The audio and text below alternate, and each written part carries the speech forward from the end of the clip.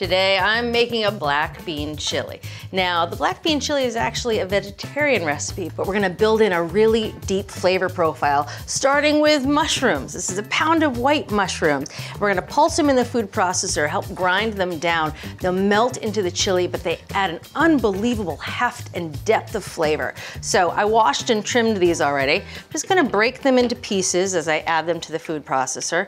And the stems are included. I like breaking the stems apart, but I did trim the bottoms. All right, now lid on. Gonna process these ah, about 10 times.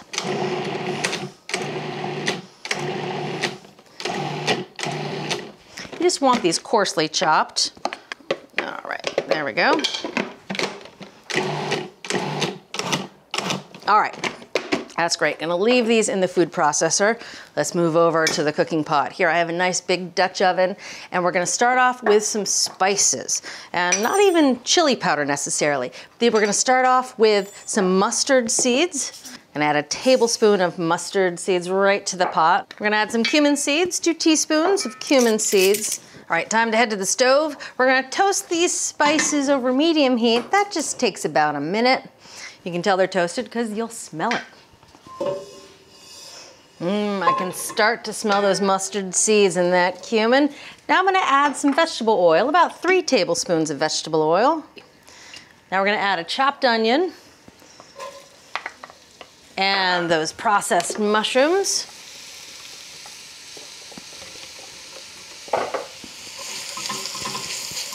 All right, I'm gonna stir it all in, make sure everything is evenly combined. And then the trick here is to actually cover the pot and let this cook covered for about five minutes. Let the mushrooms and onions release their liquid and then we can start reducing down the flavors.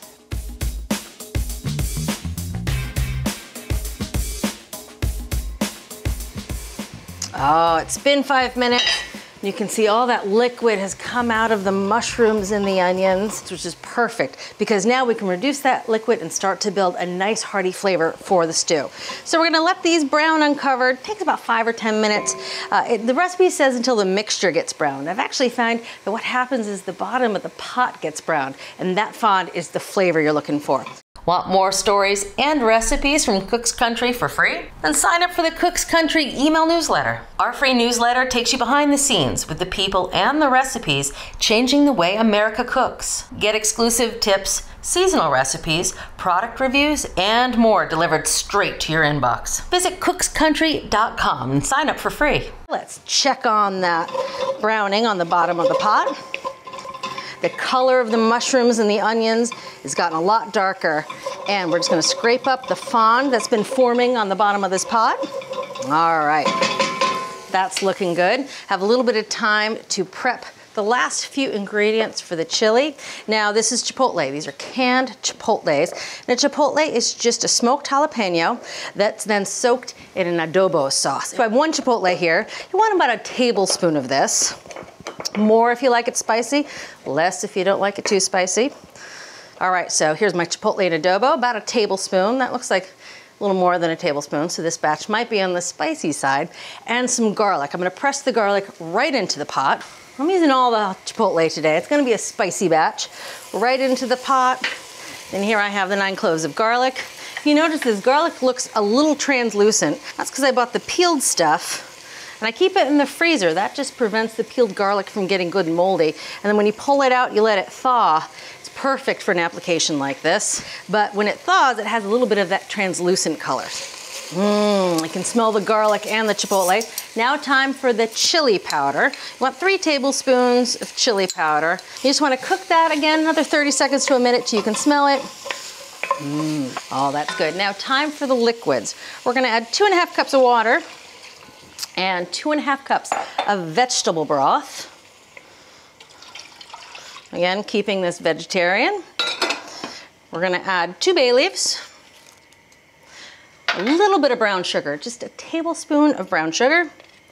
And this is another secret ingredient that's great when you're making black bean chili. It's baking soda. Now the baking soda helps the chili have that nice dark color. If you don't add it, you'll notice that your black bean chili turns out a little gray. Uh, so just a little goes a long way, just an eighth of a teaspoon of baking soda. All right, now the star of the show, the black beans. This is a pound of dried black beans. Now we're gonna add them right to the Dutch oven. Now we're gonna bring this to the simmer. We're actually gonna cook it in the oven. We're gonna cook this for about an hour. Then we're gonna add the remaining ingredients.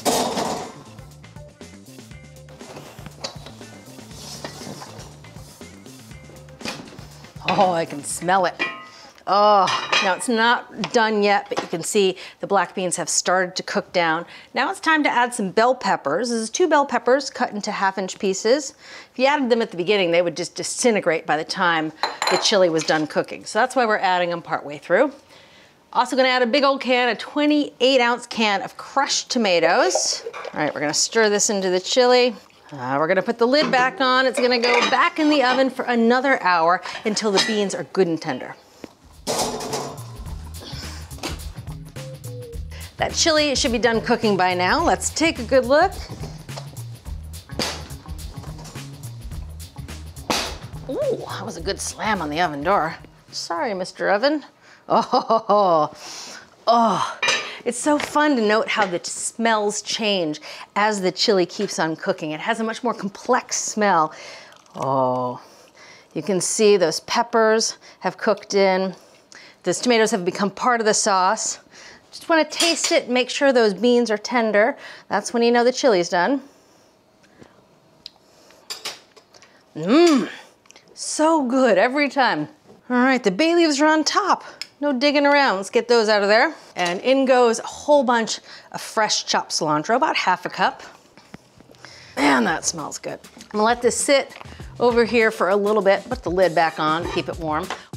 Right, time to make a nice looking bowl of chili. Oh, look at this. It has the perfect consistency. Now this chili holds like a dream once it's cooked, but you might have to loosen it up with a little extra water or even vegetable broth, because it has a tendency to thicken as it sits. Now all chili toppings are welcome here. I'm gonna stick with the standard, a little bit of sour cream. Oh, a little more sour cream.